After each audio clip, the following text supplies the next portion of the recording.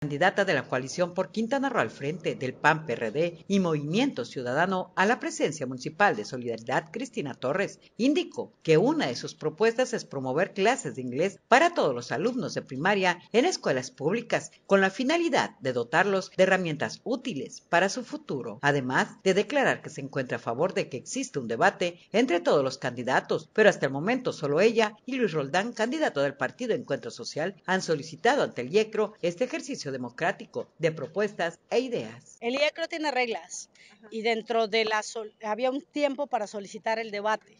Solo dos personas solicitamos el debate y una de ellas fui yo, de los candidatos. Entonces, pues ahí está la prueba, ¿no? Más que yo pida, para mí el debate es fundamental para que el ciudadano pueda discernir en ideas, pero solo dos lo, solicitamos. ¿Y, este, ¿Y los demás candidatos aceptaron, señora? ¿Cuántos ah, candidatos? La verdad no tengo la menor idea, eso es ante la autoridad electoral y el, eh, la, la, primera solicitud solo le hicimos dos. Vamos a ver quiénes escriben, ¿no? Falta, falta eso. ¿Usted fue una y la otra persona? Y el PES, el PES, Luis Roldán.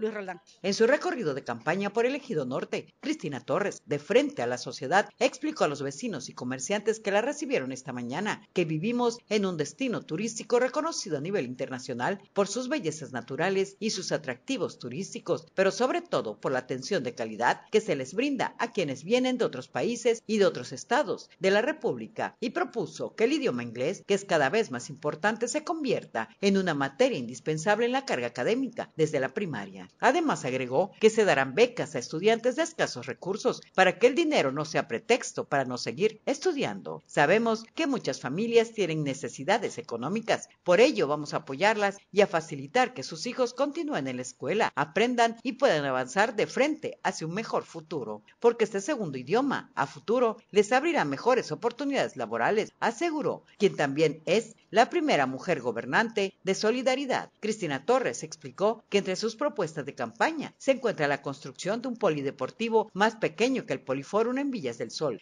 pero que ofrecerá hacer deporte a las miles de familias de esa parte de la ciudad. Eh, un polideportivo un poquito más chico que el Poliforum por la extensión de, terreno, pero sí un polideportivo que tenga eh, eh, albergado suficiente, perdón, atención suficiente para albergar a los jóvenes y no tan jóvenes deportistas que tiene solidaridad en diversas disciplinas. ¿En dónde se haría eso? En Villas del Sol.